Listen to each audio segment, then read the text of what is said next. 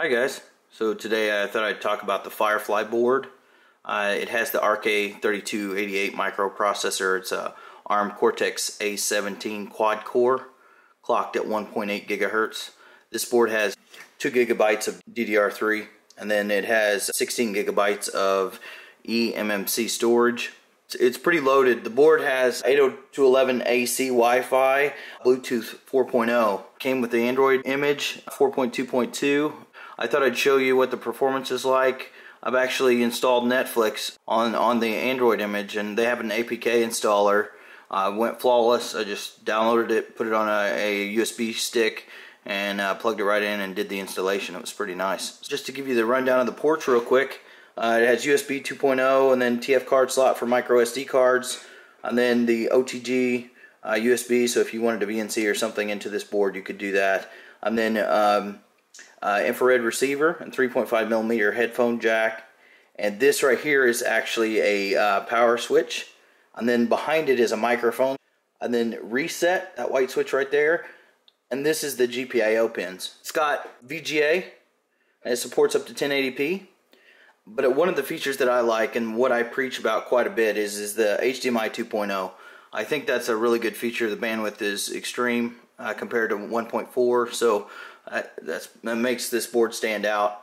Um, it also has optical audio, gigabit Ethernet, and then the barrel connector for 5 volts, 2.5 amp uh, DC.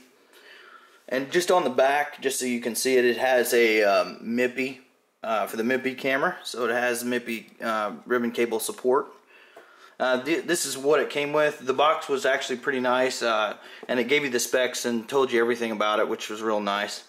This is the um, the case that it comes with. So it's got a little standoff case. So that's that's nice. So if you needed to put it in your media center uh, in your living room, you could do that without touching the board. Um, so Here's the antenna and then the power connector. So this is the power adapter. And on the on the power adapter it does say 5 volts, 2.5 amps. Um, and it's just a little American flip-up connector.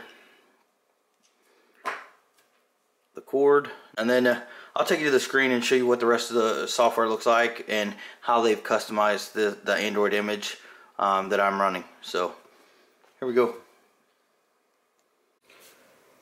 Okay, I just thought I'd show you what the case looks like installed. So this looks like something that would be okay with being in your living room just fine. All the GPIO pins are exposed if you wanted to do that. I also am using an ultra thin HDMI cable, single direction. Seems to work on the USB 2.0 port successfully. Gigabit works fine. Uh, the SMC connector is exposed so the antenna goes on successfully with the case on there. Um, I've got a mouse and keyboard plugged in. I will show you what their image looks like now and take you to the screen. Okay, so here's Netflix playing. Uh, this is uh, just a short clip from House of Cards.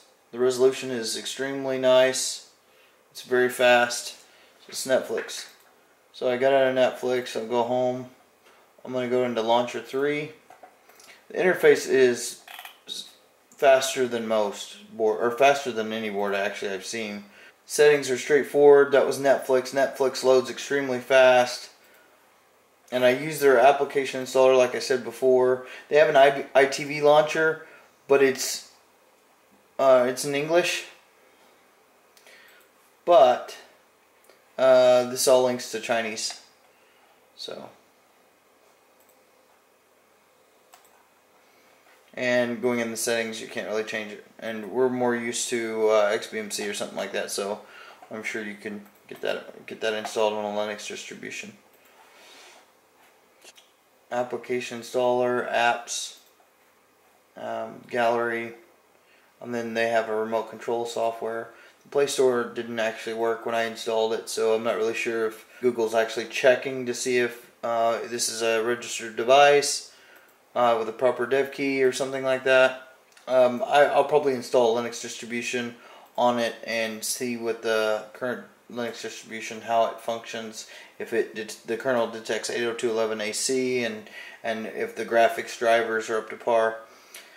But okay, alright guys, um, if you like what you saw today, please subscribe. Also, uh, check out my other Linux board videos. Uh, also, check out my Facebook group, Linux Development Boards, or my subreddit, Linux Boards. Uh, if you have any questions, please leave a comment below. And have a good day, guys. Take care.